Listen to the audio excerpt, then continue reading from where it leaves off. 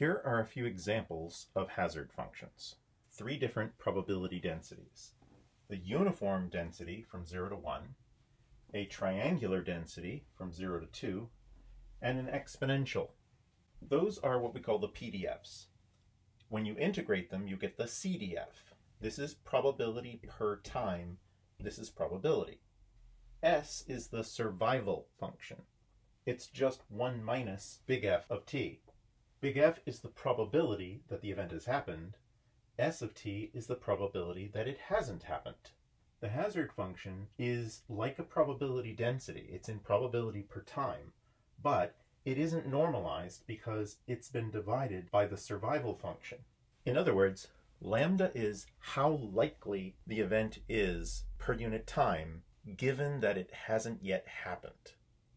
So it's like a density that's being updated constantly.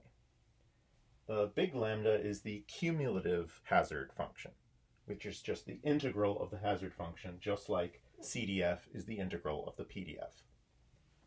So what do these look like? The uniform density, big F, is linear, it's just t. The survival function is 1 minus t.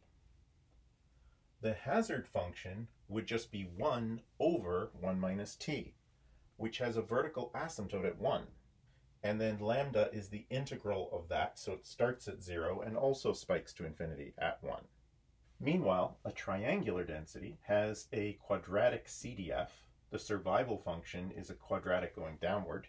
The lambda again has a vertical spike at the end of the distribution, and its function actually, after some algebra, simplifies to 1 over 2 minus t minus 1 over 2 plus t.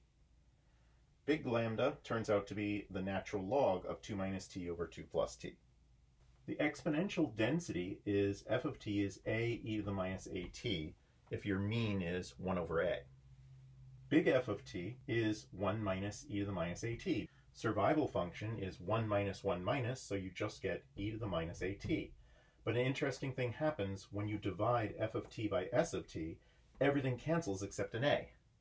An exponential is the only function that has a constant hazard rate.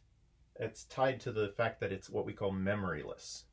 And as a result, the cumulative hazard function is just an increasing line at.